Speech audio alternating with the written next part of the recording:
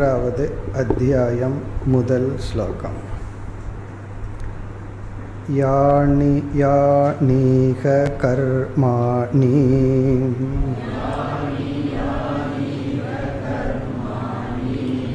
यैर्यस्वश्चन्त जन्मभिः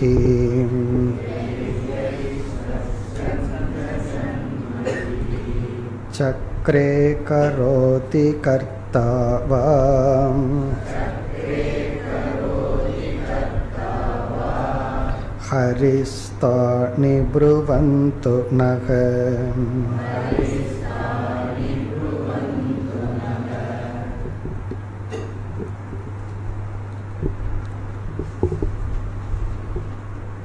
முதல் இரண்டு அத்தியாயங்களில் ஆறு கேள்விகள் கேட்கப்பட்டு ஒவ்வொரு யோகிகளும் ஒவ்வொரு கேள்விக்கான பதிலை கூறி முடித்தார் இங்கு ஏழாவது கேள்வி துவங்குகின்றது சென்ற வகுப்பில் கேள்வியை பார்த்தோம் ஏழாவது கேள்வி வந்து விஷ்ணு அல்லது ஈஸ்வரன் என்னென்ன அவதாரங்கள் எடுத்துள்ளார் அவருடைய அவதாரங்களை பற்றி கூறுங்கள் அதுதான் கேள்வி யானி யானி கர்மாணி எய்கி எய்கி ஸ்வச்சந்த ஜென்ம பிகி ஸ்வச்சந்த ஜென்ம என்றால் அவதாரம் விரும்பிய உடலை அல்லது பிறப்பை எடுத்தல் அதை வந்து ஈஸ்வரனால் தான் பண்ண முடியும் நம்மெல்லாம் சாய்ஸில் கிடையாது அதாவது நம்ம ஜீவர்கள் கியூவில் நின்றுட்டு பகவான் வந்து உனக்கு என்ன பாடி வேணும் அப்படின்னு கேட்டு இந்த உடலை நமக்கு கொடுக்கல நம்ம இந்த உடலுடன் வந்தோம் கர்ம வினையினால் இந்த உடலை அடைஞ்சு வந்தோம் ஆனால் பகவான் தாம் விரும்பிய உடலை எடுப்பார் ஸ்வச்சந்த ஜென்மபிகி எய்கி எய்கி எந்தெந்த அவதாரத்தில் யானி யானி கர்மாணி எந்தெந்த செயல்களை எல்லாம் செய்தார் ஒரு அவதாரமே ஏதோ ஒரு முக்கிய செயலுக்காக இருக்கும் அதுக்கப்புறம் அதோட அந்த முக்கிய செயல் மட்டுமல்ல அவாந்தரமாக எத்தனையோ மற்ற செயல்களும் இருக்கும் இப்போ ஒரு முக்கியமாக ஒரு கோயிலுக்கு போவோம் போகிற வழியில் ஆழ்ந்த வேலை சும்மாவாக இருப்போம் வேறு நாலு கோயிலையும் பார்த்துட்டு போகிறது போல் அதே போல் முக்கிய வேலை ஒன்று இருக்கும் அதே போல் மற்ற சின்ன சின்ன வேலைகள் இருக்கும் அப்படி என்னென்ன செயல்களை எல்லாம் பகவான் செய்தார் சக்ரே என்றால் செய்தார் கரோதி என்றால் செய்து கொண்டிருக்கின்றார் கர்த்தா என்றால் செய்ய போகின்றார் என்னென்ன செயல்களையெல்லாம் செஞ்சார் செய்து கொண்டிருக்கின்றார் செய்ய போகிறார் ஹரிஹி ஹரியான இறைவன் தாணி நக புருவந்து அதை எங்களுக்கு கூறுங்கள் என்று யோகிகளிடம் கேட்கின்றார் இப்போ ஒன்பது யோகிகள் வந்துள்ளார்கள் அதில் ஆறு பேர் பதில் சொல்லி விட்டார்கள் மீதி மூணு பேர் பதில் சொல்லாமல் இருக்கின்றார்கள் அதில் துருமிலக என்ற யோகியானவர் இந்த கேள்விக்கான பதிலை ஆரம்பிக்கின்றார் இந்த அத்தியாயம் முடியும் வரை இந்த இரண்டாவது ஸ்லோகத்தில் ஆரம்பித்து இருபத்தி மூன்று வரை இந்த ஒரு கேள்விக்கான பதில் எப்படி பதிலை ஆரம்பிக்கின்றார் இரண்டாவது ஸ்லோகம் यो वा अनन्तस्य गुणानन्तान् अनुक्रमिष्यन् स तु बालबुद्धिः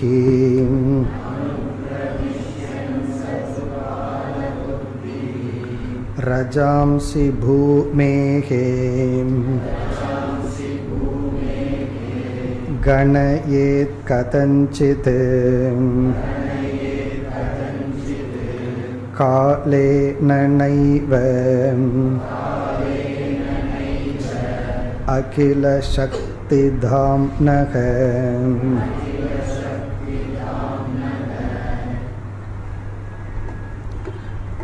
இந்த ஸ்லோகத்தில் இறைவனுடைய அவதார மகிமையையும் இறைவன் செய்த கர்மங்களினுடைய பெருமையையும் சொல்லி முடிக்க முடியாது என்று சொல்றார் உன்னுடைய கேள்விக்கு உண்மையிலேயே பதில் சொல்லி முடியாது காரணம் என்ன ஏதோ ஒன்று ரெண்டு பெருமையாக இருந்தால் சொல்லிடலாம் பகவானுடைய விபூதியை கணக்கிலிட முடியாது இன்ஃபினிட் அப்படின்னு பதில் சொல்கிறார் அதுக்கு இவர் கொடுக்குற உதாகரணம் மண்ணை எடுத்து எவ்வளவு மண் இருக்குது இந்த உலகத்தில் இந்த பூமியில் எத்தனை மண் இருக்குன்னு எண்ணி விடலாம் கொஞ்சம் எக்ஸ்ட்ரா டைம் ஆகலாம் அவ்வளவுதான் ஆனால் பகவானுடைய பெருமையை எண்ணிவிட முடியாது என்று பதில் சொல்லிட்டு பிறகு பகவானுடைய கர்மங்கள் ஜென்மங்கள் இதையெல்லாம் சொல்ல போகிறார் இப்போ இங்கு வந்து பகவானுடைய விபூதி எல்லையற்றது என்ற பதிலை கூறுகின்றார் யக வை அனந்தஸ்ய குணானந்தான் யக எவனொருவன் அனந்தஸ்ய குணானந்தான் அனந்தான் குணான் அனந்தான் குணான்னா எண்ண முடியாத பெருமைகளை உடைய அனந்தான் குணான் அந்தகன எண்டு அனந்தகன எண்டுலஸ் அனந்தான் குணான்னா குணங்களை கவுண்ட் பண்ண முடியாது அப்படிப்பட்ட விபூதி பெருமைகளை உடைய அந்த இறைவன் அவர் யார் அனந்தஸ்ய அவரே அனந்தமாக இருக்கின்றார் முடிவற்றவராக அதாவது முதலும் முடிவும் அற்றவராக இருக்கின்ற எல்லைக்கு அடங்காத அந்த இறைவனுடைய எல்லைக்கு அடங்காத குணங்களை யக எவனொருவன் அணுக்கிரமிஷ்யன் என்ன நினைக்கு என்ன நினைக்கின்றானோ கவுண்ட் பண்ண அதை கவுண்ட் பண்ண அணுக்கிரமிஷன் அப்படின்னு சொன்னால் அதை எண்ணிவிட கூடிவிட நினைக்கின்றானோ அதாவது இது இவ்வளவுதான் அப்படின்னு யாரு வந்து அதை கணக்கிட விரும்புகின்றானோ சக து பால புத்திகி அவன் ஒரு பால புத்தி பால புத்தினா குழந்தைத்தனமான செயல் யார் எண்ணில் அடங்காத குணங்களை உடைய எண்ணில் அடங்காத பகவானுடைய பெருமையை அனுக்கிரமிஷன்னா அளந்து பார்க்கறது அப்படி அளக்க நினைக்கின்றார்களோ மெஷர் பண்ண நினைக்கின்றார்களோ சக பால புத்திகி அவன் ஒரு குழந்தைக்கு ஒப்பானவன் பால புத்தின குழந்தைக்கு ஒப்பானவன் அறிவற்றவன் காரணம் என்ன ரஜாம்சி பூமேகே ரஜாம்சினா சிறிய சிறிய மண் மண் குப்பை மண் துளிகள் பூமேகே பூமியில் இருக்கின்ற மண்ணை கணையே கதஞ்சித் எப்படியாவது நாம் எண்ணி விடலாம் இந்த கதஞ்சித் இருந்து அதையும் எண்ண முடியாது தான் எப்படியாவது எண்ணி விடலாம் காலேன பை டைம் ஒரு காலை எடுத்துட்டோம்னா எக்ஸ்ட்ரா டைம் எடுத்துட்டோம் அப்படின்னா பூமியில் இருக்கிற மண்ணை கணையேத்தனா எண்ணி விடலாம் கதஞ்சித் எப்படியாவது எண்ணி விடலாம் நைவ அகில சக்தி நாஸ்தி தாம்னக நைவ ஆனால் இயலாது அகில சக்தி எல்லா விதமான சக்திக்கும் தாம்னகன இருப்பிடமாக உள்ள அந்த இறைவனுடைய விபூதியை பெருமையை கூறிவிட முடியாது இப்போ பகவான் என்னென்ன உடல்களை எடுத்து என்னென்ன செயல்களை எல்லாம் செய்து இந்த உலகை காப்பாற்றினார் உலகத்தில் என்னென்ன பண்ணினார் பகவானுடைய லீலைகள் திருவிளையாடல்கள் என்ன என்ற கேள்விக்கு அதை கூறிவிட முடியாது என்று பதில் சொல்லிவிட்டு பிறகு கூற ஆரம்பிக்கின்றார் இப்போ என்ன சொன்னார் முடியாதுன்னு சொல்லிட்டு அப்புறம் சொல்ல ஆரம்பிக்கிறார் வேதாந்தத்தில் அதான் பிரம்மத்தை விளக்க முடியாதுன்னு ஆரம்பிச்சுட்டு ஒரு பத்து வருஷம் கிளாஸுக்கு வாங்க அப்படின்னா என்ன அர்த்தம் முதல்லையே விளக்க முடியாதுன்னு சொல்லிட்டு இனிமேல் ஒழுங்காக வந்து கிளாஸ் கேட்டால் புரியும் அப்படின்னா என்ன அர்த்தம் ஒரு கோணத்தில் விளக்க முடியாது தான் பிறகு எதற்கு விளக்கிறார்னா அந்த பெருமையை விளக்கிறதுக்காக விளக்கவில்லை அந்த பெருமையை சொல்வதன் மூலம் நமக்கு பக்தியை அறிவை கொடுப்பதற்காக விளக்குகின்றார் ஏன்னா சென்ற ஸ்லோகத்தில் விளக்க முடியாதுன்னு சொல்லி விளக்க முயற்சிப்பவர்கள் பால புத்தின்னு சொல்லிட்டு இதோடு இவர் பதிலை முடிச்சிருக்கணும் இவர் வந்து விளக்க ஆரம்பிக்கிறாருன்னா அப்போ இவருக்கே பால புத்தியாங்கிற சந்தேகம் வந்துடும் இப்போ நம்ம புரிஞ்சுக்கணும் இந்த விளக்கம் பகவானை பெருமைப்படுத்தவோ அளக்கவோ அல்ல இந்த இதையெல்லாம் நம்ம கேட்டுட்டோம் ஒரு துளி நம்ம மீது பட்டால் பிறகு நமக்கு என்ன ஆகும்னா பக்தி வளரும் அறிவு வளரும் இப்போ நமக்கு அறிவை பக்தியை கொடுப்பதற்காக அடுத்த ஸ்லோகத்திலிருந்து அத்தியாயம் முடியும் வரை விளக்க ஆரம்பிக்கின்றார் மூன்றாவது ஸ்லோகம் பஞ்சபிராத்ம पञ्चभिरात्मसृष्टैः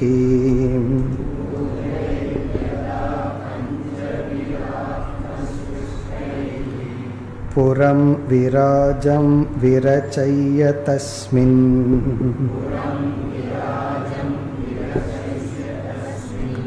स्वांशेन विष्टपुरुषापिधानम्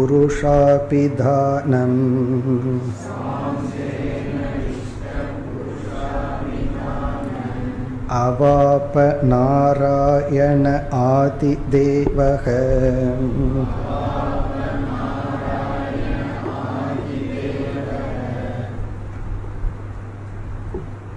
மூன்று நான்கு ஐந்து இந்த மூன்று ஸ்லோகங்களில் மூன்றிலிருந்து ஐந்து வரை இறைவனுடைய விபூதி அவதாரம் உடல் செயல்கள் என்பது இந்த சிருஷ்டியே என்று சொல்கிறார் முதல் அவதாரமாக இவர் சொல்வது விஸ்வரூபம் பகவான் வந்து என்னென்ன உடல் எடுத்து என்னென்ன செயல் செய்தார் அதுக்கு பதில் இந்த உலகத்தில் இருக்கின்ற அனைத்து ஜீவர்களாக தன்னை வெளிப்படுத்தி கொண்டு அனைத்து ஜீவர்களினுடைய செயலை அவர்தான் செய்து கொண்டு இருக்கின்றார் அப்போ இங்கே தனியாக ஏன் சொல்லணும் எல்லாருடைய செயலும் எல்லாரிடத்தில் இருக்கிற சக்தியும் இந்த உலகமும் அந்த இறைவனுடைய உடல்தான் அதுதான் முதல் பதில சொல்கிறார் இது வந்து ஹையஸ்ட் பீக்கிலிருந்து சொல்கிற பதில் நம்ம மலை உச்சியிலிருந்து கீழே பார்த்தோம்னா இந்த பொருள்கள் எப்படி தெரியும் அப்படி இப்போ மலை உச்சியிலிருந்து பா சொல்கிற பதில் இது மலை உச்சியிலிருந்து பார்க்கும்போது புல் தரையும் தென்னை மரமும் ஒரே ஹைட்டில் இருக்கும் ஏன்னா அவ்வளோ ஹைட்டிலிருந்து பார்த்தா இந்த வேற்றுமை வேற்றுமையாக இருக்காது நிலத்திலிருந்து பார்க்கும் பொழுது தான் அந்த வேற்றுமையெல்லாம் இருக்குது அப்படி இவர் வந்து வேதாந்த ஞானத்தின் உச்சியிலிருந்து பதில் சொல்றார் முதலில் இதை புரிஞ்சுக்கல அப்படின்னா அடுத்த ஸ்டெப்புக்கு இறங்கி வர்றார் கிருஷ்ணர் ராமர் பலராமன் சொல்லி மற்ற அவதாரங்களை எல்லாம் அந்த கதைகளை எல்லாம் சொல்றார் அதெல்லாம் எதற்குனா இந்த அறிவை அடைவதற்காக இப்போ இந்த அறிவு என்ன அப்படின்னா அந்த ஈஸ்வரனே நிமித்த உபாதான காரணம் அந்த இறைவன் தான் உபாதான காரணம் அந்த இறைவந்தா நிமித்த காரணம் அவருடைய மாயாங்கிற சக்தியும் துணை கொண்டு அனைத்துமாக பஞ்சபூதங்களாக ஜீவர்களாக இந்த உலகமே பகவான் தான் அதான் சென்ற வகுப்பில் பார்த்தோம் அதிசயம் மிராக்கிள்னா என்னன்னா எல்லாமே மிராக்கிள் தான் நடக்கிறது எல்லாமே அதிசயம்தான் அப்படி இல்லைன்னா எதுவுமே அதிசயம் கிடையாது ஆனால் நம்ம மைண்டில் வந்து ஏதாவது ஒன்று தான் அதிசயமாக இருக்கிற மாதிரி தெரிகின்றது அதெல்லாம் ஆரம்ப காலத்தில் அப்படி இருக்கலாம் தவறு கிடையாது ஆனால் உண்மை என்னன்னா யோசித்து பார்த்தா எல்லாமே அதிசயம் இனி ஒரு கோணத்தில் எல்லாமே ஈஸ்வரனுடைய செயல் இப்போ இதையெல்லாம் நம்ம கேட்டு சந்தேகம் வரல மைண்ட் அப்படியே அக்செப்ட் ஆகிடுதுன்னா இந்த அறிவுக்கு நம்ம தயார்னு அர்த்தம் இதை கேட்ட உடனே என் மாமியாருமே கடவுள் தானா அப்படின்னு சந்தேகம் வந்ததுன்னு வச்சுக்கோமே இவ்வளவு அரசியல்வாதிகள் இவ்வளவு தப்பு பண்ணிட்டு இருக்காங்க பாவம் பண்ணிட்டு இருக்காங்க இதெல்லாமே பகவான் பண்றது தானா இப்படியெல்லாம் சந்தேகம் வந்துச்சுன்னு வச்சுக்குவோமே இந்த மூணு ஸ்லோகத்தை இப்போதைக்கு மறந்துடுவோம் விட்டுருவோம் ஏன்னா இதுக்கு நம்ம ரெடியாக இல்லை இந்த அதர்மம் பகவான் பண்ணுறதா இவங்கெல்லாம் நம்ம உலகத்தின் மீது வெறுப்பு வெறுப்பை ரொம்ப சேர்த்து வச்சுருக்கோம் நம்மால் அவங்களையெல்லாம் இறைவனை அக்செப்ட் பண்ண முடியலனா அதுக்கப்புறம் சொல்கிற அவதாரத்தை ரசிப்போம் அதை என்ஜாய் பண்ணுவோம் அதுக்கப்புறம் என்ன புரிஞ்சுக்கோம்னா அறிவு வர வர இந்த அறிவு இந்த கருத்து மனதில் பதியும் அதனால் இது ஹையஸ்ட் ஸ்டாண்டுங்கிறது எப்படி தெரியுதுன்னா இதை நம்ம மனசு அப்படியே ஜீர்ணிச்சுட்டா இந்த அறிவுக்கு தயார் இது புரியல கேட்குறக்கு நல்லா இருக்கு ப்ராக்டிக்கலெல்லாம் வேண்டாம் அப்படின்னா இதை நம்ம ஒரு இன்ஃபர்மேஷனாக கேட்டு வச்சுக்குவோம் ஆனால் இந்த மூன்று ஸ்லோகத்தில் கொடுக்குற அறிவு பஞ்சபூதங்களும் அனைத்து ஜீவர்களும் ஜீவர்களுடைய உடல் ஜீவன் அவனுடைய புலன்கள் அவனுடைய செயல்கள் எல்லாமே ஈஸ்வரன் தான் இங்கெல்லாம் ஆத்மா அனாத்ம விவேகம் எல்லாம் கிடையாது உடல் வேறு ஆத்மா வேறு அதெல்லாம் கிடையாது எல்லாமே ஈஸ்வரன் தான் அதுதான் இந்த மூன்று ஸ்லோகத்தில் கூறப்படுகின்றது இப்போ ஸ்லோகத்திற்குள் சென்றால் பூதைஹி யதா பஞ்சபிகி ஆத்ம சிருஷ்டைஹி பஞ்சபிகி ஐந்து ஆத்ம சிருஷ்டைகி தன்னிடமிருந்து உருவான தன் அந்த ஈஸ்வரனிடமிருந்தே உருவான ஐந்து பூதைகி பஞ்ச பூதங்கள் மூலமாக இந்த அப்போ பஞ்ச ஸ்தூல சூக்ம பூதங்கள் எல்லாம் எங்கிருந்து வந்ததுன்னா தன்னிடமிருந்தே வந்தது இப்போ தன்னிடமிருந்து உருவான இப்போ தானே உபாதான காரணமாக இருந்து உருவான அஞ்சு பூதங்கள் மூலமாக இங்கே பஞ்ச பூதங்கள்ங்கிற இடத்துல நம்ம அந்த ஸ்தூலம் சூக்மம் இதையெல்லாம் சேர்த்திக்கணும் பஞ்சஸ்தூல பூதங்கள் சூக்ம பூதங்கள் அந்த பூதங்களின் துணை கொண்டு புறம் விராஜம் விர செய்ய முதல்ல என்ன பண்ணாராம் ஒரு வீடு கட்டினாராம் புறம் அப்படின்னா ஒரு பெரிய நகரத்தை அல்லது ஒரு வீட்டை கட்டினார் யாருடைய வீடு விராஜம் புறம் விர செய்ய விர செய்யன்னா மிக அழகா அழகான ஆர்கிடெக்டோட கட்டினாராம் இந்த வீடுங்கிறது நம்ம அனைத்து ஜீவராசிகளினுடைய சரீரம் நம்ம உடம்பை தான் பகவான் வீடுன்னு சொல்கிறார் ஒரு என்ஜினியர் வந்து எப்படி அழகாக வீடு கட்டியிருக்கார் அதே போல் பகவான் கட்டின வீடு தான் நம்ம உடல் என்ன அழகாக டிசைன் பண்ணி கட்டியிருக்கார் ஒரு பத்து வருஷம் இருபது வருஷத்துக்கு முன்னாடி இருந்த என்ஜினியர் கட்டுறது இப்போ கட்டுறதுக்கு வித்தியாசம் இருக்குது ஏன்னா இம்ப்ரூவ் ஆகிட்டே இருக்குது ஒரு இருபத்தஞ்சி வருஷத்துக்கு முன்னாடி வீட்டில் சில கஷ்டங்களோடு கட்டினாங்க இப்போ வந்து அதை விட பெட்டராக கட்டிகிட்டு இருக்காங்க ஆனால் பகவான் கட்டின பாடி இருக்கே அதை மாற்றவே முடியாது திடீர்னு நீங்கள் காதை எடுத்து தலை மேலே வச்சு பாருங்க மூக்கை எடுத்து வேற எங்காவது வச்சு பாருங்க செட் ஆகாது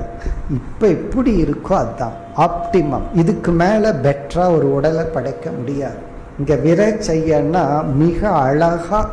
என்ன பண்ணாராம் உடலை கட்டினாராம் விராஜம் புறம் அப்படின்னா நம்ம எல்லா சரீரமும் சேர்ந்து விராட் தத்துவம்னு சொல்கிறோம் இப்போ விராட் தத்துவத்தை அவர் உருவாக்கினார் அப்படின்னா எல்லா ஜீவராசிகளினுடைய உடலை அவர் உருவாக்கினார் புறம்ங்கிறது இங்கே ஊர் அல்லது உடல் விராஜம்னா சமஷ்டி ஸ்தூல சரீரத்தை அவர் கிரியேட் பண்ணார் எப்படின்னா எங்கோ இருந்து எடுத்துட்டு வந்த பஞ்சபூதத்திலே அல்ல தன்னிடமிருந்து உருவான பஞ்சபூதத்தில் தன்னிடமிருந்தே வந்த பஞ்சபூதத்திலிருந்து இவர் என்ன பண்ணாரா எல்லாருடைய உடலையும் செஞ்சுட்டு தஸ்மின் அந்த உடலுக்குள் அந்த உடலுக்குள் சுவேன விஷ்டக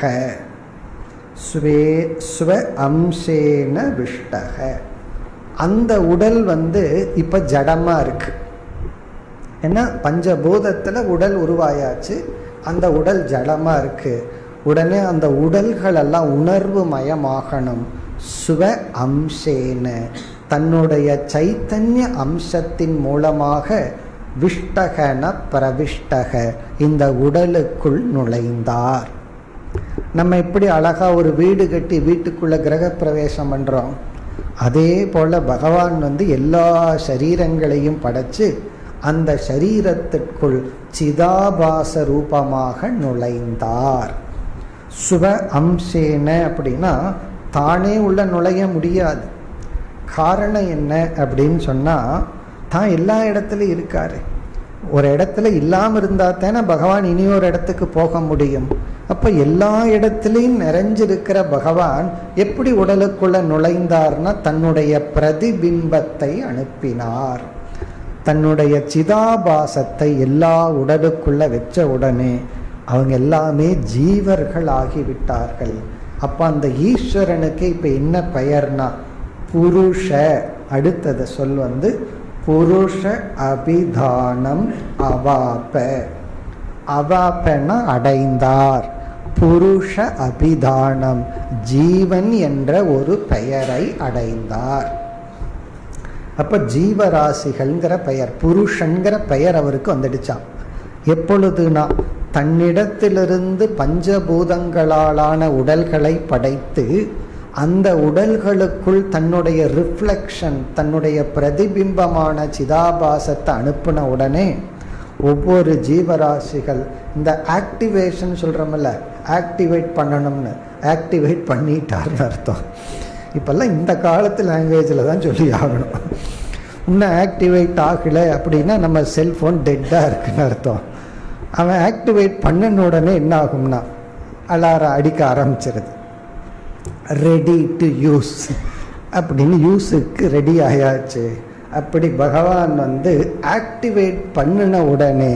புருஷன் என்ற பெயரை அடைந்தார் அப்போ யார் அந்த ஈஸ்வரன் ஈஸ்வரனுடைய ஜென்மம் என்னன்னா இந்த உலகத்தில் இருக்கிற எல்லா உடம்பும் பகவானுடைய உடம்பு அதற்குள் இருக்கிற அந்த அறிவு சுரூபம் பகவானுடைய ரிஃப்ளெக்ஷன் இந்த பகவானுக்கு என்ன பெயர் இங்கு நாராயணக ஆதி தேவக இந்த நாராயணன் ஆதி தேவக ஆதி மூலம் நல்லா சொல்கிறோமே அதுதான் ஆதி மூலமான ஆதி தேவகனா ஈஸ்வரன் ஆதி தேவமான ஈஸ்வரன் நாராயணன் என்ற பெயரையுடைய இந்த ஈஸ்வரனுடைய அவதாரங்கள் ஜென்மம் என்ன என்றால் இந்த உலகத்தில் இருக்கிற எல்லா சரீரமும்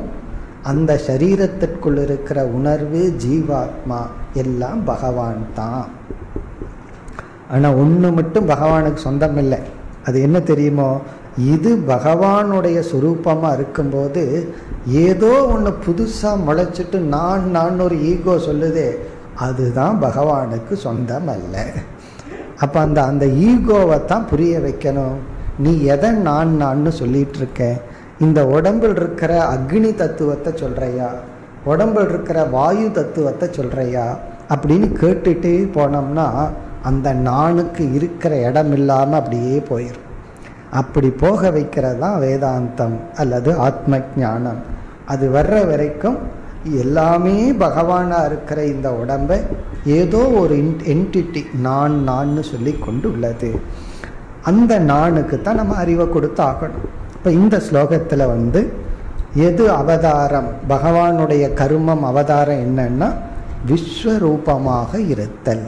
விஸ்வமே ஈஸ்வரனுடைய சொரூபம் இதுதான் அவதாரம் இப்போ இதே கருத்தை தான் அடுத்த இரண்டு ஸ்லோகத்திலும் விளக்குகின்றார் அடுத்த ஸ்லோகம் यत्काय एषः भुवनत्रयसन्निवेशः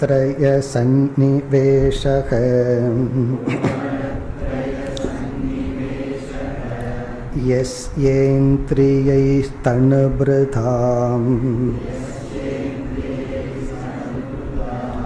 उभयेन्द्रियाणि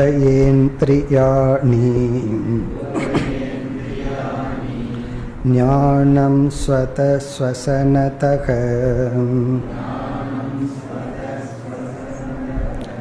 बलमोज इहा सत् सत्त्वादिभिस्थितिलयोद्भवे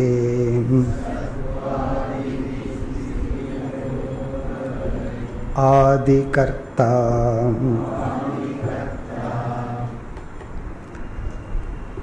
சென்ற ஸ்லோகத்தில் கூறிய அதே கருத்துதான் இந்த ஸ்லோகத்திலும் அடுத்த ஸ்லோகத்திலும் கூறப்படுகின்றது இந்த உலகத்தில் இருக்கிறது எல்லாமே ஈஸ்வரன்தான் அதனால தான் ஆங்கிலத்தில் ஒரு பழமொழி சொல்வார்கள் there is no god but god அப்படின்னு சொல்லுவாங்க there is no god but god அப்படின்னு என்ன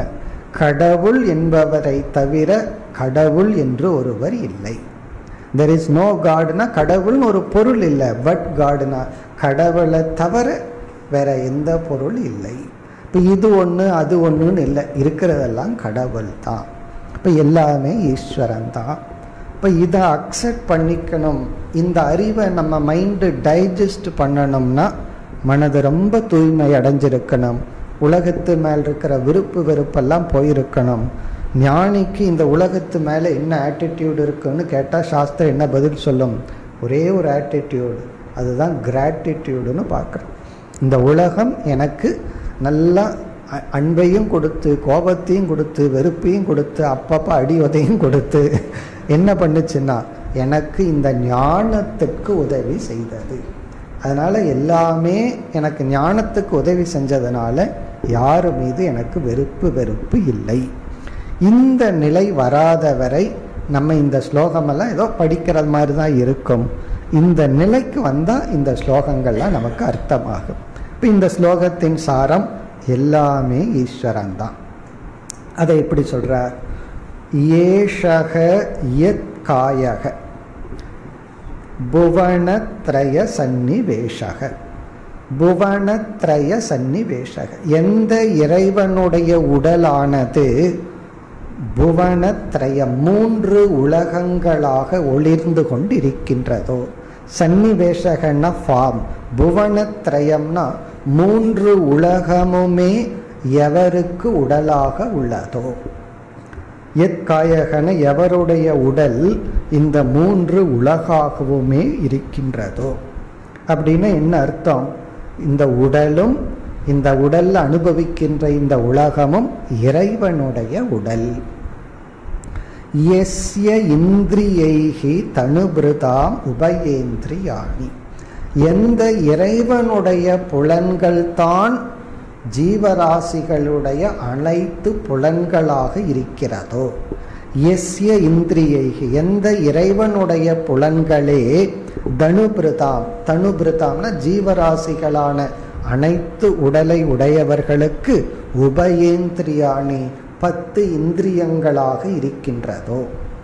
இப்போ இறைவனுடைய புலன்கள் தான் ஜீவராசிகளுடைய பத்து ஐந்து கர்மேந்திரியம் ஐந்து ஞானேந்திரியங்களாகவும் இருக்கிறது இப்போ எவருடைய உடல் மூ உலகாக இருக்கின்றதோ எவருடைய புலன்கள் ஜீவராசிகளினுடைய புலன்களாக இருக்கின்றதோ ஞானம் ஸ்வதக எவ ஸ்வதக அவருடைய அறிவே அனைத்து ஜீவராசிகளினுடைய ஞானமாகவும் இருக்கின்றதோ ஸ்வதகனா அவருடைய சொரூபந்தான் ஜீவராசிகளுக்கு ஞானமாக இருக்கின்றது ஸ்வசனதக அவருடைய பிராண சக்தி தான் ஸ்வசனதகன இறைவனுடைய அந்த பிராண சக்தி தான் பலம் ஓஜக ஈகா பலம் ஜீவனுடைய சரீர பலமாக உள்ளது ஓஜக ஜீவனுடைய மனோபலமாக உள்ளது ஈகா ஜீவனுடைய செயல்படும் ப திறனாக உள்ளது இங்கே ஈகான ஆக்டிவிட்டிஸ் நம்மளால் செயல்பட முடிகிறது அது இறைவனுடைய சக்தி ஓஜகன்னா நம்ம மனதுக்கு என்ன சக்தி இருக்கோ அது இறைவனுடைய சக்தி இங்கே ஓஜகன மனோபலம் பலம்னா சரீர பலம் உடம்புக்கு இருக்கிற பலம் பலம் ஓஜகன மனோசக்தி பிறகு சத்வாதிபிகி ஸ்திதி லய உத்பவே ஆதி கர்த்தா ஸ்திதி லய உத்பவே அதாவது சிருஷ்டி ஸ்திதி லயம் என்கின்ற மூன்று செயலுக்கு ஆதி கர்த்தா மூல கர்த்தாவாக இறை இருக்கின்றார் இறைவன் அவர் வந்து இந்த மூன்றையும் எப்படி செய்கிறார் சத்வாதி பிகி சத்துவம் ரஜஸ் தமஸ் என்ற தன்னிடமுள்ள மாயையிடமுள்ள மூன்று குணங்களின் துணை கொண்டு ஸ்திதி லய உத்பவே ஆதி கர்த்தா உத்பவே விஷய அதாவது ஸ்திதி செய்தல் லயம் செய்தல் சிருஷ்டி செய்தல் இந்த விஷயத்தில் ஆதி கர்த்தாவாக இருக்கின்றார் சத்துவம் முதலிய குணங்களின் துணை கொண்டு சென்ற ஸ்லோகத்தில் சொன்ன அதே கருத்து தான் இனி அடுத்த ஸ்லோகத்தில் என்ன சொல்றார் சரி ஒவ்வொரு குணமும் எது எதற்கு பயன்படுகிறது சத்துவ குணம் எதற்கு அதாவது சிருஷ்டி ஸ்திதி லயத்தில் ரஜோகுணம் எதற்கு பயன்படுகிறது தமோ குணம் எதற்கு பயன்படுகிறது அப்படி பயன்படும் பொழுது அந்தந்த குணத்தை ஆதாரமாக கொண்ட ஈஸ்வர தத்துவத்திற்கு என்னென்ன பெயர் இதெல்லாம் நமக்கு தெரிஞ்சதுதான் அடுத்த ஸ்லோகத்தில் பிரம்மா விஷ்ணு சிவன்கிற உடலை எடுத்துக்கொண்டு இவர் சத்வரஜஸ்தமோ குணத்தின் துணை கொண்டு சிருஷ்டி ஸ்திதி லயம் செய்து கொண்டு வருகின்றார் அதுதான் அடுத்த ஸ்லோகத்தின் சாராம்சம் ஐந்தாவது ஸ்லோகம் आतावभूत् शतधृती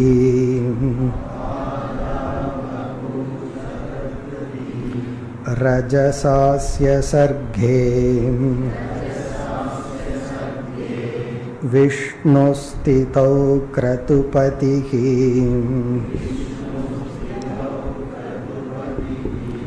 द्विजधर्मसेतुको रुद्रोऽप्ययाय तमसा पुरुष स आद्यः इत्युद्भवस्थितिलयाः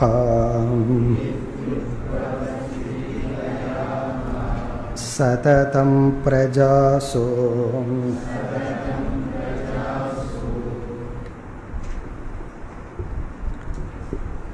பகவான் என்ன செய்து கொண்டிருக்கின்றார் அப்படின்னு ஒரு கேள்வி எந்தெந்த ஜென்மத்தின் மூலமாக என்னென்ன கர்மங்கள் பண்ணினார் அதுக்கு இவர் சொல்கிறார் இவர் சிருஷ்டி ஸ்திதி லயங்கிறத செய்து கொண்டு இருக்கின்றார் அதாவது நம்ம சொல்கிறோம் ஒரு க்ஷணத்தில் ஒரு நொடியில் எவ்வளவு ஜீவராசிகள் இறக்கின்றது ஒரே ஒரு நொடியில் எத்தனை ஜீவராசிகள் பிறக்கின்றது அதே க்ஷணத்தில் எத்தனை ஜீவராசிகளை பகவான் காப்பாற்றி கொண்டிருக்கின்றார் அப்போ இங்கே சிருஷ்டி ஸ்திதி லயத்தை ரெண்டு விதத்தில் பார்க்கலாம் என்டையர் கிரியேஷனை வந்து சிருஷ்டி பண்ணுறது ஸ்திதி பண்ணுறது பிறகு பிரளயம்னு சொன்னால் அந்த சிருஷ்டியை எடுத்துக்கொள்வது இனி ஒன்று கோணத்தில் பார்த்தா இந்த ஸ்திதியிலேயே சிருஷ்டி ஸ்திதி லயமும் இருக்கு எத்தனை ஒவ்வொரு க்ஷணத்துக்கும் ஒவ்வொரு ஜீவராசி பிறந்து வாழ்ந்து இறந்து கொண்டு இருக்கின்றது இந்த வேலையை செய்கிறார் இவர் வந்து ரஜோகுணத்தின் துணை கொண்டு சிருஷ்டி செய்கிறார் அப்போ அந்த ஆதி கர்த்தாவான அந்த இறைவனுக்கு பெயர் வந்து நாராயணனுக்கு பிரம்மா பிறகு வந்து சத்துவ குணத்தின் துணை கொண்டு விஷ்ணுங்கிற பெயரை எடுத்துக்கொண்டு ஸ்திதி செய்கிறார் தமோ குணத்தின் துணை கொண்டு ருத்ரங்கிற பெயரை எடுத்துக்கொண்டு அவர் லயம் செய்கிறார் இதுதான் அவருடைய வேலை அப்போ பகவானுக்கு வந்து நான் stop twenty four hours duty என்னென்னா பிறக்க வைக்கணும் உடனே அது வேற டிபார்ட்மெண்ட் பிரம்மாவோட டிபார்ட்மெண்ட் நான் பிறத்து அனுப்பிச்சிட்டேன்னு கிட்ட அனுப்பிச்சிடுவார் கொஞ்ச நாள் வச்சிருப்பார் அப்புறம் ஓவர் அடுத்த டிபார்ட்மெண்ட் யார் ருத்ரன்கிட்ட அனுப்பி விடுவார் இப்படி இந்த மூன்று தேவதைகளினுடைய பெயரை எடுத்துக்கொண்டு மூன்று குணங்களின் துணை கொண்டு சிருஷ்டி ஸ்திதி லயம் செய்து கொண்டிருப்பவர் அந்த ஈஸ்வரன் இதுதான் இந்த ஸ்லோகத்தின் சாராம்சம் ஆதௌ அபூத் ஆதவ் சிருஷ்டியின் துவக்கத்தில் ஆதவ் அபூத்னா அந்த இறைவன் மூன்றாவது வரியில் இருக்கு சக ஆத்தியக புருஷக அது ஈஸ்வரனை குறிக்குது சக ஆத்தியக புருஷக அந்த மூலப்பொருளான அந்த இறைவன் முழுமுத கடவுள் சததிருதி அபூத் சததிருதி என்றால் பிரம்ம தேவர் சததிருதி அபூத் பிரம்ம தேவனாக மாறினார் உருவெடுத்தார் என்ன குணத்தின் துணை கொண்டு ரஜசா அஸ்ய சர்கே ரஜசா ரஜோகுணத்தின் துணையை எடுத்துக்கொண்டு அவர் பிரம்ம தேவனாக மாறினார் அஸ்ய சர்கே இந்த சிருஷ்டியின் துவக்கத்தில் அஸ்ய ஜெகதக இந் அஸ்ய இந்த உலகினுடைய சர்க்கேன பிறக்கும் பொழுது தோன்றும் பொழுது இதை நம்ம ஒட்டுமொத்தமாகவும் பார்க்கலாம் இந்த உலகத்தை முழுமையாக எடுத்துட்டும் பார்க்கலாம் ஒவ்வொரு ஜீவராசிகளினுடைய நோக்கத்திலையும் பார்க்கலாம் எல்லாத்துக்கும் டேட் ஆஃப் பர்த் இருக்கு டேட் ஆஃப் ஸ்திதி இருக்கு இடைப்பட்ட காலம் டேட் ஆஃப் டெத்து இருக்குது அப்படின்னா இருக்க போகுதுன்னு அர்த்தம் அல்லது ஒரு ஒரு ஜீவனுக்கு இருந்தது அப்படி இந்த மூன்று இருக்குது அப்படி பார்க்கையில் ஒவ்வொரு க்ஷணமும் எல்லாம் சொல்கிறாங்கள ரெண்டு செகண்டுக்குள்ளே இத்தனை குழந்தை பிறக்குதுன்னு சொல்கிறார்கள் அல்லது பத்து செகண்டுக்குள்ளே ரெண்டு செகண்டுக்குள்ளே இத்தனை மனுஷங்க போறாங்கன்னு சும்மா ஒரு தோராயமாக கணக்கு சொல்கிறார்கள் மனுஷனை விட்டுட்டு ஜீவராசின்னு யோசிச்சா நம்மளால் கணக்கிடவே முடியாது அப்படி ரஜோகுணத்தின் துணை கொண்டு முதலில் பிர திருத்தியாக ஆனார் அடுத்தது இரண்டாவது வரையில் விஷ்ணு கோஸ்திதௌ கிரதுபதிகி த்வி ஜென்ம த்வி தர்ம சேதுகோ இரண்டாவது வரியில் விஷ்ணு ஸ்திதௌ ஸ்திதிங்கிற விஷயத்தில் விஷ்ணு என்ற பெயரை இவர் எடுத்துக்கொள்கின்றார் இங்கே ஒரு வார்த்தையை சேர்த்திக்கணும் சத்துவ குணை குணேன சத்துவ குணத்தின் துணை கொண்டு சத்துவ குணத்தின் துணை கொண்டு விஷ்ணுங்கிற பெயரை ஸ்திதிங்கிற செயல் செய்யும் பொழுது எடுத்து கொண்டார் அந்த விஷ்ணுவுக்கு என்ன பெயர் கிரதுபதிகி கிரதுபதிகி என்றால் நாம் செய்கின்ற கர்ம பலனை கணக்கில் வைத்து பலன் கொடுப்பவர் கிரதுபதினா தலைவர் கிரதுனா கர்ம நம்மளுடைய கர்மத்தை எல்லாம் ஒருத்தர் ஒழுங்காக அக்கௌண்ட் எழுதிட்டு இருக்கார் சும்மா நம்ம சித்திரகுப்தன் எல்லாம் சொல்கிறோமே அதை செய்யறவர் விஷ்ணு தான் விஷ்ணுவனுடைய மேற்பார்வையில் சித்திரகுப்தனில் அவருக்கு அசிஸ்டண்ட் அக்கௌண்டன்ட் உண்மையான அக்கௌண்டன்ட் யாருன்னா பகவான் விஷ்ணு தான் அவர் தான் அதை வந்து கணக்கெடுத்து அந்தந்த ஜீவனுக்கு கொடுக்க வேண்டியதை கொடுத்து கொண்டு இருக்கின்றார் த்விஜ தர்ம சேத்துகோ அதே சமயத்தில் தர்ம சேத்துகோ தர்மத்தை பாதுகாப்பவராகவும் இருக்கின்றார் த்விஜ என்றால் குறிப்பாக மனிதர்கள் இங்க த்விஜங்கிற சொல் எதை குறிக்கின்றதுன்னா தர்மத்தை பின்பற்றும் யோகிதை அடைந்தவர்கள் அந்த குழந்தை இருக்கு அந்த குழந்தைக்கு தர்மா தர்மம் எல்லாம் தெரியாது அப்போ அதனால அந்த குழந்தை என்ன செஞ்சாலும் அது பாவம்னு நம்ம இல்லை எப்போ ஒரு அறிவு வந்து உபநயனமெல்லாம் வந்து அல்லது ஸ்கூலுக்கெல்லாம் போய் அகம் திஜக அப்படின்னா எனக்கு பொறுப்பு வந்துடுச்சுன்னு சொல்கிறோமோ அப்பொழுதிருந்து அவன் தர்மத்தை பின்பற்றணும் அந்த தர்மத்தை காப்பாற்றுபவர் சேதுனா காப்பாற்றுபவர் அதாவது ஜீவர்களுக்கு தர்மத்தை காப்பாற்றுபவர் இதனுடைய பொருள் ஜீவன் ஒருவன் தர்மம் பண்ணனா அந்த தர்மம் வீண் போகாது நம்ம கண்ணுக்கு ஏதோ வீண் போன மாதிரி தெரியும் ஒரு உண்மையை பேசி ஒரு லாஸ் வந்ததுன்னு வச்சுக்குவோமே பேசின உண்மை வேஸ்டாக போச்சுன்னு நமக்கு தோணலாம் ஆனால் பகவானுடைய அக்கௌண்ட்டில் அது வேஸ்ட் ஆகாது எப்போவோ பேசின பொய்யுக்கு தான் இந்த லாஸ் காரணம் நீ பேசின உண்மைக்கு பின்னாடி ரிசல்ட் இருக்கு அதான் த்வி த்வி ஜென்ம தர்ம சேதுகோ இதுவும் விஷ்ணுவுக்கு பெயர் பிறகு மூன்றாவது வரியில் ருத்ரன் ருத்ரக அப்பியே அப்பியாய தமசா தமசா தமோ குணத்தின் துணை கொண்டு அப்பியாய அப்பியக அப்படின்னா பிரளயம் ருத்ரக ருத்ரங்கிற பெயரை பெற்று அவர் பிரளயத்துக்கு தமோ குணத்தை பயன்படுத்தி கொள்கின்றார் இப்படி நான்காவது வரையில் ஈதி உற்பத்தி ஸ்திதி லயாகா பிறப்பு ஸ்திதி லயம் சததம் பிரஜாசோ இந்த பிரஜா சிருஷ்டியில் எப்பொழுதும் நடைபெற்று கொண்டே இருக்கின்றது அதிலிருந்து என்ன தெரியுதுன்னா சிருஷ்டி காலத்திலேயே இந்த மூணும் நடைபெற்று கொண்டிருக்கின்றது எல்லா காலத்திலும் இந்த பிரஜைகளுக்குள் இந்த படைப்புக்குள் இதெல்லாம் நடைபெற்று கொண்டுள்ளது அப்போ அவதாரம்னா என்னன்னா பகவானே அனைத்துமாக ஆகி அவரே இப்படியெல்லாம் சிருஷ்டி ஸ்திதி லயமெல்லாம் பண்ணி இந்த உலகத்தை நடத்தி கொண்டு உலகமாக காட்சி அளிக்கின்றார்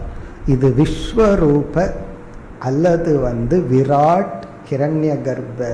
ஈஸ்வர ரூப விளக்கம்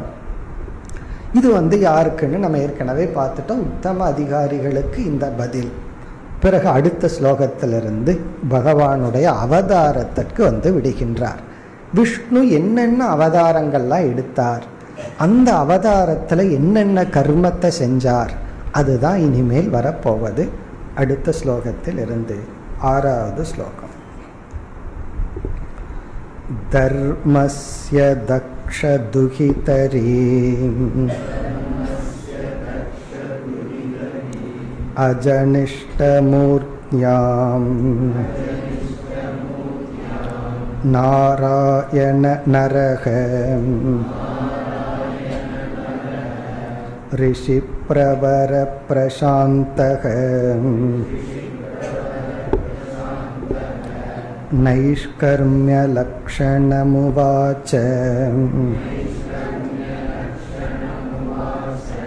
चचारकर्म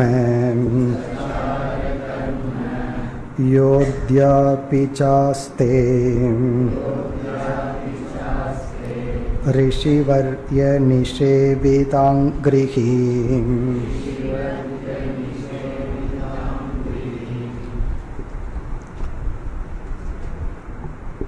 இந்த ஆறாவது ஸ்லோகத்தில் ஆரம்பித்து பதினாறாவது ஸ்லோகம் வரை ஆறிலிருந்து பதினாறு வரை நர நாராயண அவதாரம் பகவான் எடுத்த ஒரு அவதாரத்துக்கு நரநாராயண அவதாரம்னு பெயர் இந்த இடத்துல நாராயணன்னா விஷ்ணு கிடையாது ஒரு ரிஷி அந்த ரிஷிக்கு பேரு நாராயணன் இனி ஒரு ரிஷிக்கு பேரு நரக நரகன்னா மனிதன் அர்த்தம் கிடையாது இந்த இடத்துல இந்த நர நாராயணன்கிறவங்க ரிஷிகள் ட்வின்ஸ் சேர்ந்து பிறந்த அண்ணன் தம்பிகள் இந்த அவதாரத்தை தான் பதினாறாவது ஸ்லோகம் வரை சொல்கிறார்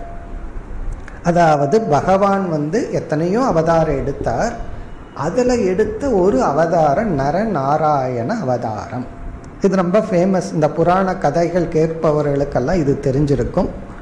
நரநாராயண அவதாரம் இங்கே நாராயணன்னா ஒரு ரிஷியினுடைய பெயர் நரன்னா ரிஷியினுடைய பெயர் இந்த இருவருமே பகவானுடைய அவதாரம் பிறகு அடுத்த இரு பதினேழாவது ஸ்லோகத்திலிருந்து தான் நம்ம பாகவதத்தில் பார்த்த அவதாரங்களை எல்லாம் சொல்ல போகிறார் வராக அவதாரம் கூர்ம அவதாரம் நரசிம்ம அவதாரம் ராம அவதாரம் பலராம அவதாரம் இதெல்லாம் பரசுராம அவதாரம் இதெல்லாம் பிறகு சொல்ல போகிறார் சொல்லி சுருக்கமாக இந்த அவதாரத்தில் இதை செஞ்சார் இந்த அவதாரத்தில் இந்த கர்மத்தை செஞ்சார்னு சொல்லி கடைசியில் சில ஸ்லோகங்களில் பல அவதாரங்களுக்கு பெயர் சொல்ல போகிறார் சில அவதாரங்களுக்கு பேரே இருக்காது அதெல்லாம் சொல்ல போகிறார் இப்போ நமக்கு என்ன டாபிக்னா நர நாராயண ரிஷிகி இப்போ இந்த ஸ்லோகத்தில் வந்து நர நாராயணன் எப்படி பிறந்தார்கள் எதற்காக பிறந்தார்கள் அவங்க பிறந்து என்ன செய்தார்கள் அதை சொல்லி அடுத்த ஸ்லோகத்திலிருந்து இந்த இரண்டு ரிஷிகளினுடைய மகிமை கூறப்படுகிறது பெருமையை சொல்கிறார் இந்த ரிஷிகளினுடைய மேன்மை சொல்லப்படுகிறது அது அடுத்த ஸ்லோகத்திலிருந்து இந்த ரிஷிகளினுடைய பெருமை தான் அது ஒரு கதை மாதிரி போகும் இந்த ரிஷிகளை பார்த்து இந்திரன் பயப்பட்டானா நம்ம போஸ்ட்டை பிடிச்சிருவானோன்னு சொல்லி அப்போ இந்திரன் இவங்களுக்கு என்ன செஞ்சான் இந்த ரிஷிகள் எப்படி நடந்து கொண்டார்கள் இந்த கதையெல்லாம் அடுத்த ஸ்லோகத்திலிருந்து இப்போ இந்த ஸ்லோகத்தில் இந்த ரிஷிகள் யாருக்கு அவதார அவதரித்தார்கள் என்ன செய்தார்கள் இப்போ நம்ம புரிஞ்சுக்கணும் இந்த இடத்துல நரக நாராயணகங்கிற சொல் நம்ம சாதாரணமான அர்த்தத்தில் இருக்கிற சொல் அல்ல இது ஒரு ரிஷிகளுக்கு பெயர் நாராயணன் ஒரு ரிஷிக்கு பெயர் நரன் ஒரு ரிஷிக்கு பெயர் ரொம்ப ரேராக ட்வின்ஸ் ஒரே கேரக்டரில் இருப்பாங்க நார்மலாக ஆப்போசிட்டாக தான் இருப்பார்கள் ஆனால் இந்த ட்வின்ஸ் இருக்காங்களே இரண்டு பேர் சேர்ந்தே போர் இருப்பார்கள் இருவரும் ஆத்ம ஞானிகள் இருவரும் ஞானத்தை இந்த உலகத்துக்கு உபதேசித்தார்கள் இவங்க இரண்டு பேருமே வேதாந்த ஆச்சாரியார்கள் புராணங்களில் இவங்களுடைய பெயர்களெல்லாம் பிரசித்தம் அதை இங்கு வந்து இறைவனுடைய அவதாரமாக சொல்லப்படுகிறது இனி இவருடைய தாய் தந்தையர் யார் அதுதான் முதல் வரியில் வருகிறது தர்மஸ்ய அஜனிஷ்ட மூர்த்தியாம் தக்ஷதுஹிதரி தக்ஷ பிரஜாபதியின் மகளுக்கு இவர்கள் பிறந்தார்கள் தக்ஷ துஹிதரி துஹிதான மகள் தக்ஷ பிரஜாபதி என்பவருடைய மகளுக்கு இவர்கள் பிறந்தார்கள் இது வந்து அம்மா மூர்த்தி அப்படின்னு அந்த அம்மாவுக்கு பெயர் மூர்த்தியாம் மூர்த்தி என்ற பெயரை உடைய தக்ஷனுடைய மகளுக்கு அஜனிஷ்ட மகனாக இந்த இருவரும் பிறந்தார்கள் மூர்த்தின்னு தமிழில் தான் பேர் எல்லாத்துக்கும் ஆண்பாளுக்கு பசங்களுக்கு பேர் வைக்கிறோம் சமஸ்கிருதத்தில் மூர்த்திங்கிறது ஸ்திரீலிங்கம் பெண்பாலை குறிக்கின்ற சொல் அது ஏதோ தமிழில் வந்து அது மூர்த்தி அப்படின்னு சொல்லி அது ஆண்களுக்கு பிரசித்தமாயிடுச்சு இப்போ மூர்த்தி என்ற பெண்ணுக்கு தக்ஷனுடைய மகளுக்கும் பிறகு யார் தந்தை தர்மஸ்ய தர்ம பிரஜாபதியின் தந்தைக்கு இங்கே தர்ம பிரஜாபதிங்கிறவர் தந்தை தக்ஷ பிரஜாபதியினுடைய மகளான மூர்த்திக்கு யார் பிறந்தார்கள் நாராயணக நரக அஜனிஷ்ட நரன் நாராயணன் என்ற இரு ரிஷிகள் பிறந்தார்கள் இவங்க இருவருமே எப்பொழுது ஒன்றா இருக்கிறதுனால இது ஏக வச்சனத்திலேயே சொல்லப்படும் அது திவ்யவச்சனத்தில் வர ரெண்டு பேரும் ஒன்றாவே பிறந்தார்கள் இனி அந்த ரிஷிகள் யார் ரிஷி பிரவரக பிரசாந்தக அவர்கள் ஞானிகளாக மகான்களாக ரிஷிகளாக இருந்தார்கள் ரிஷி பிரவரகனா ரிஷிகளுக்குள் தலை சிறந்த ரிஷிகளாக இவர்கள் இருந்தார்கள் இப்போ ராமரை போல கிருஷ்ணரை போல நம்ம புரிஞ்சுக்கணும் இவங்களும் மனித சரீரம் எடுத்து வளர்ந்து ஞானத்தை அடைந்து ரிஷிகளாக இருந்தார்கள் பிரசாந்தகங்கிறது மன அமைதியை அடைந்தார்கள் சரி இவங்க என்ன செய்தார்கள் இந்த சொசைட்டிக்கு இவங்க என்ன செஞ்சாங்க நைஷ்கர்மிய லக்ஷணம் உவாச்ச இவங்க செஞ்சது வந்து நைஷ்கர்மிய லக்ஷணத்தை இந்த உலகத்துக்கு உபதேசித்தார்கள் உவாச்சன்னா டீச் பண்ணாங்க உபதேசித்தார்கள்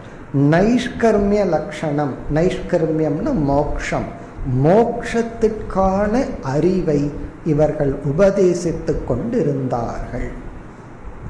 நைஷ்கர்மிய லக்ஷணாம் நைஷ்கர்மியம்ங்கிற வார்த்தைக்கு அர்த்தம் நம்ம பார்த்துருக்குறோம் மோக்ஷம் அதாவது வந்து அகம் நிஷ்கர்மா எனக்கு எந்த செயலும் அல்ல இல்லை நான் முக்தன் என்ற ஒரு அறிவை கொடுக்கும் மோக்ஷ சாஸ்திரத்தை உபதேசித்தார்கள் அதை விட முக்கியமான அடுத்த சொல் சச்சார சச்சாரன்னா அதன்படி அவர்கள் வாழ்ந்து கொண்டும் இருந்தார்கள் இங்கே சச்சாரன்னா இவங்க என்ன உபதேசித்தார்களோ அதன்படி தான் இவர்களுடைய வாழ்க்கையும் அமைந்தது இவங்க லைஃப் வேற இவங்களுடைய டீச்சிங் வேற அப்படி இல்லை இப்போ எந்த கர்மத்தை எந்த தர்மத்தை இவங்க உபதேசித்தார்களோ அந்த தர்மப்படி சில பேர் வந்து நீங்கள்லாம் ஆனந்த சுரூபமாக இருக்கீங்கன்னு அழுதுட்டு சொல்கிறோம்னு வச்சுக்கோமே அப்போ என்னன்னா சொல்கிறது ஒன்று உள்ளே இருக்கிறது ஒன்று அப்படி அல்ல பிறகு இவர்கள் யார் அப்படின்னு சொன்னால் கடை நான்காவது வரியில் கடைசி சொல் ரிஷிவர்ய தாங்கிரிகி அதாவது இவர்கள் இவர்கள் வந்து ரிஷிகள் இவர்கள் யார்னா மற்ற ரிஷிகளெல்லாம் இவர்களை வணங்குவார்கள் ரிஷிகளுக்கெல்லாம் ரிஷிகளாக இருந்தார் ரிஷி வரிய நிஷேபி தாங்கிரிகி அதாவது அங்கிரிகினா பாத இவர்கள் பாதம் எப்படிப்பட்டதுன்னா மற்ற ரிஷிகளெல்லாம் வந்து இந்த ரிஷியை வணங்கி கொண்டு செல்கிறார்கள் அப்படிப்பட்ட பாதத்தை உடையவர்கள் இந்த இரண்டு ரிஷிகள் இப்போ நம்ம சுருக்கமாக என்ன புரிஞ்சுக்கிறோம் இவர்கள் ஒரு சாதாரண மனுஷனாக பிறந்து வளர்ந்து ஒரு ஞான நிஷ்டை அடைந்து அந்த நைஷ்கரிமங்கிற வேதாந்த தத்துவத்தை உலகுக்கு உபதேசித்து கொண்டு தானும் அதன்படி வாழ்ந்து கொண்டு மற்ற ரிஷிகளால் வணங்கத்தக்கவர்களாக இருக்கின்றார்கள் அப்போ மற்ற ரிஷிகள்னால் அவர்களெல்லாம் சாதகர்கள் இந்த வாழ்க்கைக்கு வந்த சாதகர்களால் வணங்கப்பட்டவர்களாக இருக்கின்றார்கள் பிறகு இனி ஒரு அழகான கருத்தை போடுறார் எக அத்திய அபி சாஸ்தே இவர்கள் இன்றும் இருக்கின்றார்கள் அத்திய அபி சாஸ்தே இதனுடைய அர்த்தம் என்ன அப்படின்னா யாரெல்லாம் ஞானத்தை அடைஞ்சு ஞான நிஷ்டை அடைந்து அதன்படி வாழ்ந்து உபதேசிச்சிட்ருக்காங்களோ இருக்காங்களோ அவங்க எல்லாமே ஒரு கோணத்தில் பகவானுடைய அவதாரம்தான் பகவானுடைய முழு அனுகிரகம் இல்லாமல் இந்த அறிவை அடைய முடியாது இப்போ பூர்ண அனுகிரகத்தை அடைஞ்சவங்க பகவானுக்கு சமந்தன அப்படி எக அத்திய அபி ஆஸ்தே அப்படின்னா இவர்கள் இன்றும் மடியவில்லை இன்றும் இருந்து கொண்டிருக்கின்றார்கள் எப்படின்னா இந்த நைஷ்கர்மிய லட்சணத்தை உபதேசிப்பதன் வாழ்வதன் மூலம் இருக்கின்றார்கள் இப்ப சச்சார கர்மன்னு ஒரு சொல்ல இருக்கு மூன்றாவது வரியில கடைசி சொல் கர்ம அப்படின்னா இங்கே வந்து வாழ்க்கை முறை சச்சார கர்ம நைஷ்கர்மிய லட்சணமான வாழ்க்கை முறையை இவர்கள் பின்பற்றினார்கள் அந்த தர்மத்தை இவர்கள் உபதேசித்தார்கள் இவர்கள் இன்றும் இருக்கின்றார்கள் இந்த சாஸ்திரத்தில் சிரஞ்சீவி எல்லாம் சொல்லுவாங்க ஆஞ்சநேயர் இன்றும் இருக்கார் எங்கெல்லாம் ராம கதை நடக்குதோ அங்கெல்லாம் இருக்கார்னு சொன்னால் பக்தி பூர்வமாக ஓகே பட் இதே தத்துவ ரீதியாக போனோம்னா அந்த மைண்டு எங்கே இருக்கோ அந்த மைண்டெல்லாம் இன்று இருந்து கொண்டு இரு உள்ளது இப்போ இதனுடைய சாராம்சம் பகவானுடைய அவதாரத்தை நம்ம வந்து ரெண்டு கோணத்தில் பார்க்கலாம் கீதையில் நான்காவது அத்தியாயத்துல பார்த்தோம் ஒரு கோணத்தில் வந்து தனக்கு பாப புண்ணியம் இல்லாமல் தானாக ஒரு உடலை எடுத்து ஈஸ்வரன் எடுத்து உலக தர்மத்தை நிலைநாட்டினா அது அவதாரம் இனி ஒன்று சாதாரண மனிதர்களால் செய்ய முடியாத ஒன்றை ஒரு மனிதன் செய்து முடித்தால் அதையும் நம்ம அவதாரம்னு சொல்கிறோம் அதனால தான் எல்லா சம்பிரதாயத்திலையும் அந்தந்த குருக்களை அவதாரம்னு சொல்லி விடுவார் சங்கரர் ஒரு அவதாரம் ராமானுஜர் அவதாரம் சொல்லி காரணம் என்னன்னா சங்கரர் வந்து முப்பத்தி இரண்டாவது வயதில் எல்லா வேலையும் முடிச்சுட்டு பேக் பண்ணிட்டார்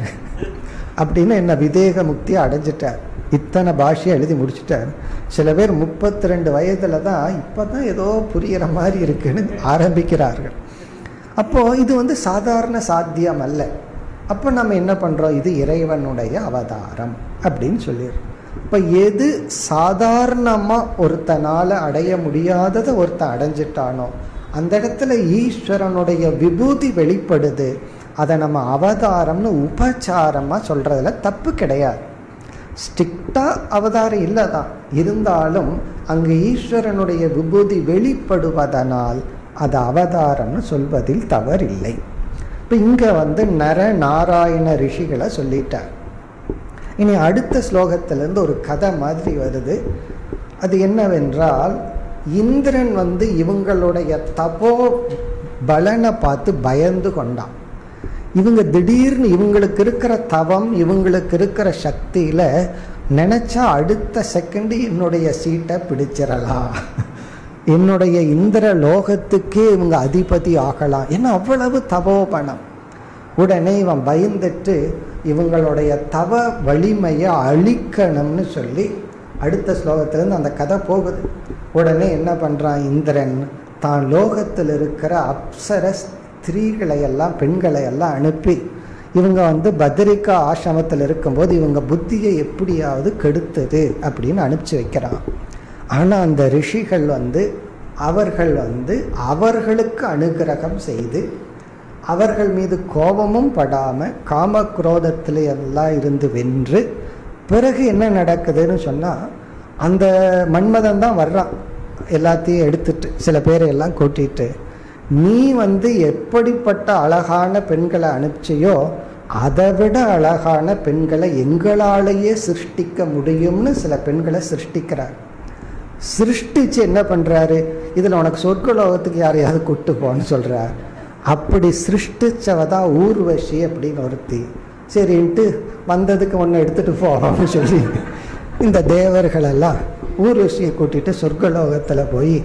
இந்திரன்கிட்ட இவர்களுடைய பெருமையை கூறுகின்றார் இப்போ இதில் வந்து இந்த ரிஷிகளுக்கு வந்து என்னை சோதிக்கிறையான கோபமும் வரல அவங்கள பார்த்து நீங்கள்லாம் ஒரு போக பொருள் என்ன மயக்க வருகிறீர்கள்னு நினைக்கல அவங்களுக்கு இருக்கிற இடம் கொடுத்து ஆதரித்து பிறகு அந்த மன்மதனுக்கு வந்து உன்னை விட அதிகமாக எங்களுக்கு சிருஷ்டிக்க முடியும்னு சொல்லி அப்படி சிருஷ்டிச்சு இவர்களுடைய அந்த தவ வலிமையை நிலைநாட்டுகிறார்கள் இந்த கதை தான் இதற்கு பிறகு வருகிறது அடுத்த வகுப்பில் தொடர்வோம் ओम पूर्णमद पूर्णमिदं पूर्णात् पूर्णमुदच्यते पूर्णस्य पूर्ण